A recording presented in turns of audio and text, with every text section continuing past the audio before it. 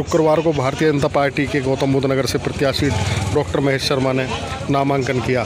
इस मौके पर उन्होंने दावा किया कि अपने किए गए कामों के आधार पर और सर्वजन के समर्थन से उनकी भारी मतों से जीत होगी।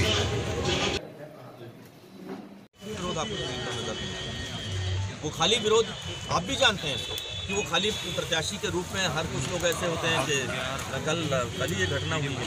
जब से उन्होंने एक व्यक्ति आया और उन्होंने कहा कि साहब, मुझे पाँच सौ तेरह में से किसी सीट पर देश में टिकट दे दीजिए मैं चुनाव लड़ना चाहता हूँ। ऐसे लोग सर, एक सवाल पाकिस्तान हर बार की। देखिए आतंकवाद और ये भाईचारा और ये सद्भावना मानव चीज़ें एक साथ नहीं चल सकती। और जिसमें इस वक्त मोदी जी के नेतृत्व में एक मज़बूत सरकार है उनको आईना दिखा दिया गया है। पाकिस्तान पूरे विश्व में अलग थलग खड़ा है। सर मैं आज से पाँच साल पहले मैं एक अस्पताल था चेयरमैन मालिक था। अब मैं भारत सरकार का नौकर हूँ।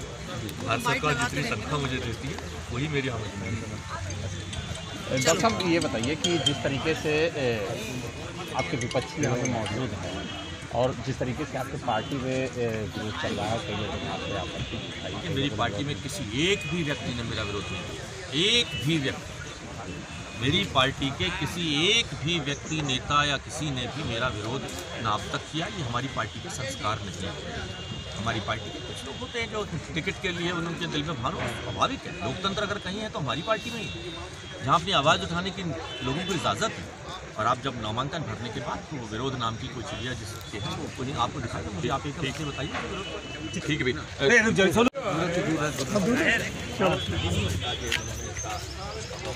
और मैं कहा है तो मैं उसे नहीं मानता किसी भी तरह से सेनाओं के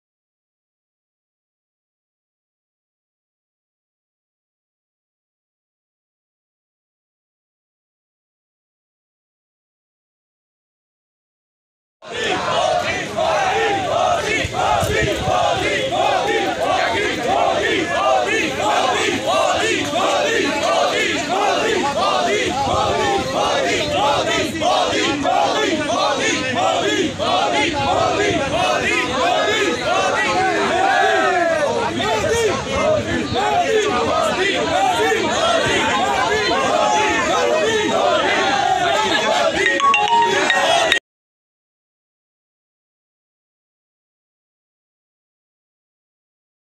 よし!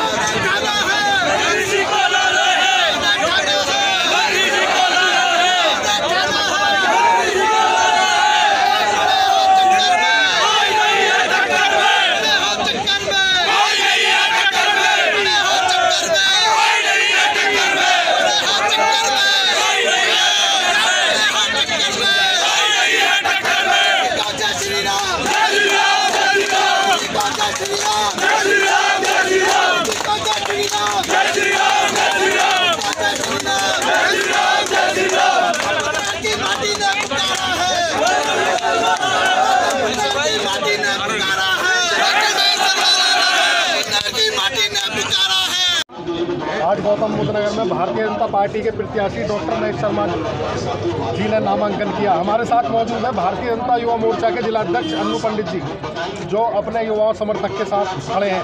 क्या कहेंगे इस चुनाव के बारे में गौतम बुद्ध नगर का चुनाव?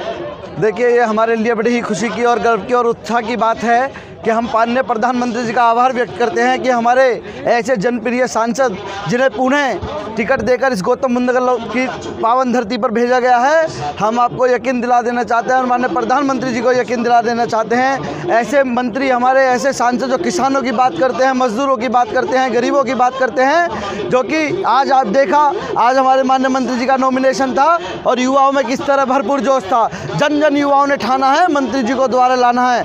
आप देख रहे थे, हज़ारों की तादाद में युवा युवा तरुणा इस गौतम बुद्ध नगर की खड़ी हुई है। और हम बता देना चाहते हैं टॉप थ्री के अंदर जैसे इस गौतम बुद्ध नगर लोकसभा में विकास में टॉप थ्री में आती है, आने वाले जो परिणाम आएगा इस गौतम बुद्ध नगर लोकसभा का टॉप थ्री में हमारी इस गौतम बुद्ध नगर रहेगी। और हम युवा मोर्चा माननीय मंत्री जी को भारी बहुमत से जिताकर संसद में भेजने का काम इस गौतम बुद्ध नगर का युवा करेगा। अच्छा मुकाबला। किससे? गठबंधन और कांग्रेस प्रत्याशी देखिए ये गठबंधन ठगबंधन ये तो सब हमने खुंटी पर टांग के रख दिए हैं। हमारा कोई मुकाबला नहीं है। हमारा मुकाबला उनसे है जो इस देश के गद्दार हैं जो इस देश में रह के इस देश को खोखला करने की राजनीति करते हैं ऐसे जय चंदों के मुँह पे तमाचा मारने का काम इस गौतम बुद्ध नगर का युवा करेगा।